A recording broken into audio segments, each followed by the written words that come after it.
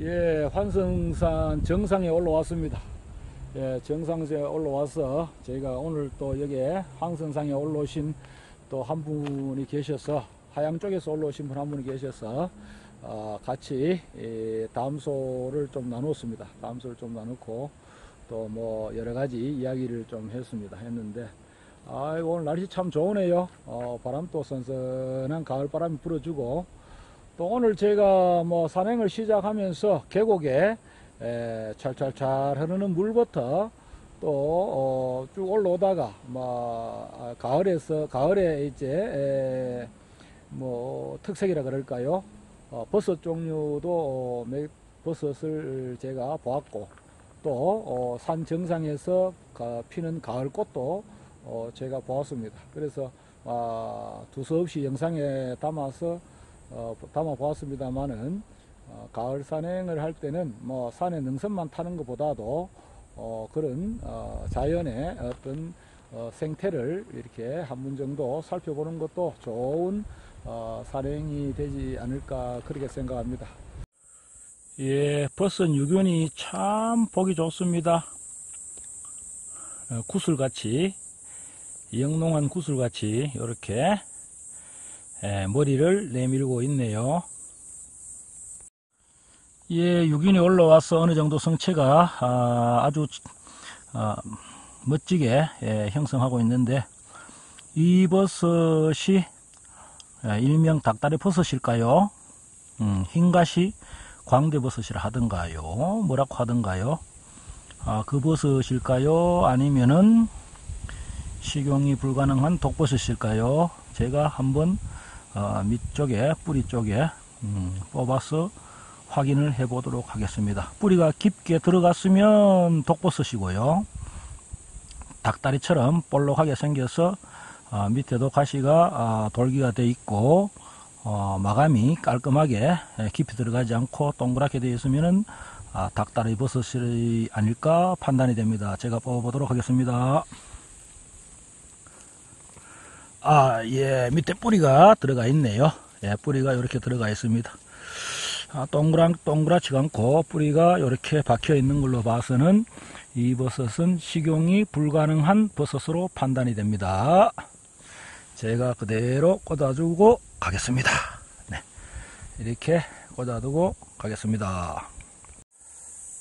예, 앞에 황토물이 고인 에, 곳을 한눈에 봐도 우리 시청자 여러분들 아시겠죠? 이 능선의 경사면에 에, 능선의 경사면인데요. 어, 경사면에 황토질로 되어 있는 곳입니다. 황토질로 되어 있는 곳인데 이곳에 에, 물이 이렇게 고일 것을 어떻게 알고 어, 이렇게 목욕탕을 만들어 놨습니다. 아, 이 목욕탕은 뭐 당연히 예, 멧돼지가 만들었다고 봐야 되겠죠. 그래서 아마 제가 앞, 영, 앞 영상 앞에서도 어, 멧돼지가 해집고 다닌 능선을 해집고 다니는 것을 어, 영상에 담았습니다만은 제가 하산을 하면서 이렇게 보니까 완전히 요 지금 멧돼지가 다니는 길이에요 길 길인데 에, 이곳에 에, 능선임에도 불- 불구하고 이곳이 산에 약 7부 이상의 능선임에도 불구하고 경사면에 이렇게 황토가 있는 곳에는 이 멧돼지들이 귀신같이 알고 이렇게 목욕탕을 만들어 놓았네요. 아, 참 자연의 에, 이치를 우리 이 산짐승들이 이 사람보다 더 어, 명쾌하게 에, 꿰뚫어 찾아내는 것 같습니다. 예, 이 버섯도 어, 완전히 피었습니다. 피었는데 에, 위에 갓 부분에 보면은 이렇게 돌기가 아, 거북이 껍질처럼 이렇게 형성이 되어 있네요. 어, 대가 아, 이렇게 쭉 뻗어서 아래쪽에 갈수록 대가 굵습니다. 대가 굵은데 아래쪽에 에, 포자 집을 만들고 있는데 이것도 뿌리가 있는지 없는지 확인을 한번 해보도록 하겠습니다. 예, 뿌리가 길게 이렇게 있네요. 어, 뿌리가 이렇게 길게 뿌리가 되어 있습니다. 이 버섯도 어, 닭다리 버섯은 아닌 걸로 판명이 됩니다. 따라서 이 버섯은 어, 제가 식용으로 권장할 수가 없네요. 독버섯으로 어, 판단이 됩니다. 제가 꽂아주고 가겠습니다. 자, 이렇게 꽂아주고 저는 하산을 하겠습니다.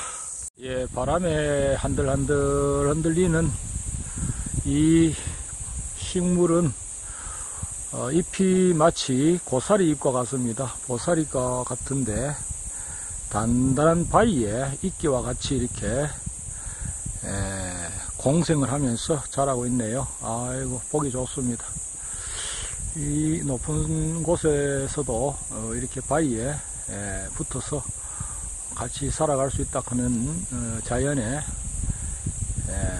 신비함을 다시 한번 느끼곤 합니다. 좀 감상하고 내려가겠습니다.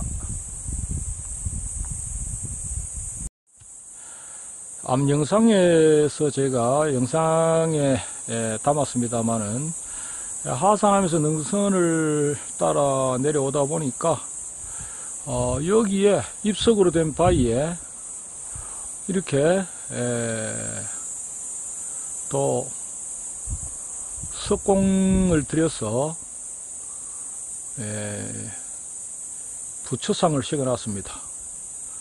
입상이라 그래야 돼 입상 좌상이 아니라 입상 부처상을 새겨놓고 어, 그 밑에 이제 향을 피우는 이렇게 단까지 만들어 놨네요. 자, 이렇게도 해놨습니다. 아마도 아래쪽에 암자나 또 아니면 무속인들이 기도처를 만들면서 여기까지 아마 아, 공력을 들여서 조성했는 걸로 보입니다. 옆에 이렇게 글자가 되어 있는데 읽어보니까 1985년 9월 5일로 되어 있네요. 9월 5일. 예, 이렇게 지금 아, 글씨를 파두었습니다. 예. 아, 참 이 자연 속에서 이렇게 종교적인 어떤 행위를 하는 것도 어, 좋지만 음, 자연서 그대로 두고 이곳에서 기도를 했으면 어떨까 하는 그런 생각도 드네요. 에, 또 이것이 관리가 되고 있지 않고 있기 때문에 안타까움을 금할 기가 없습니다. 예, 이 큰 버섯이 하나 내려오다 있는데 어, 이것도 돌기가 아, 있습니다. 아, 위에 갓부분에 돌기가 있고요. 아래 뿌리 부분에 돌기가 있습니다. 돌기가 있는데 이 부분도 닭다리 버섯하고 비슷하게 생겼는데요. 어, 완전히 피어서 이게 성체가 완전히 피어서 거의 이제 소멸 단계에 있는 것 같습니다. 녹균화가 다 된 것 같습니다. 제가 살짝 한번 뽑아 보도록 하겠습니다. 아, 예. 이 버섯은 예, 밑에 닭다리처럼 이렇게 돼 있네요. 어, 이것은 일전에 제가 예, 영상에 올렸던 그 버섯입니다. 예, 흰털 가시 광대버섯. 뭐 제가 정확한 명칭인지는 모르겠습니다. 닭다리 버섯인데 제가 이 버섯을 얼마 전에 채취를 해서 예, 살짝 데쳐서 어, 볶아 먹어봤습니다. 아, 맛은 괜찮아요. 맛은 괜찮은데 뭐 이 버섯 하나를 가지고 뭐 버섯 요리하기는 그렇고요. 어, 그대로 현장에 두고 가도록 하겠습니다.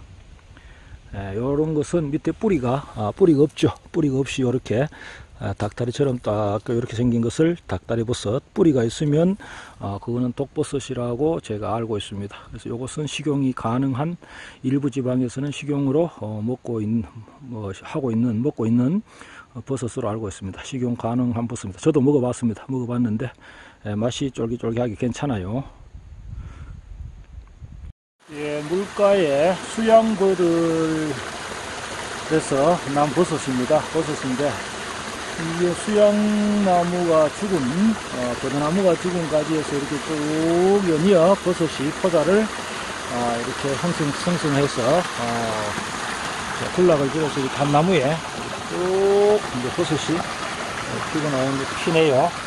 자, 이것은 뭐 뭐라고 이야기해야 될까요? 운지버섯이라 그래야 될까요? 뭐 수양버들, 버드나무 어, 느타리라 그래야 될까요? 아, 주 제가 산에서 하산하면서 시원한 물에 좀 씻으면서 보니까 이렇게 어, 느타리가 보여 있습니다. 이렇게 옆에서 또 것도 있네요. 어, 이 나무도 보니까 껍질로 봐서는 버드목 같습니다. 버드목 같은데 죽은 버드목에서 아, 이렇게 포자를 어, 생성해서 이렇게 피워놨습니다. 이것은 뭐 제가 뭐 식용이나 뭐 그 다음에 뭐 독버섯인지는 알 수는 없겠습니다. 영상에 담아서 올려봅니다. 예, 감사합니다. 예, 오늘 산행에서 딴 송입니다. 딱 한 송이 땄네요.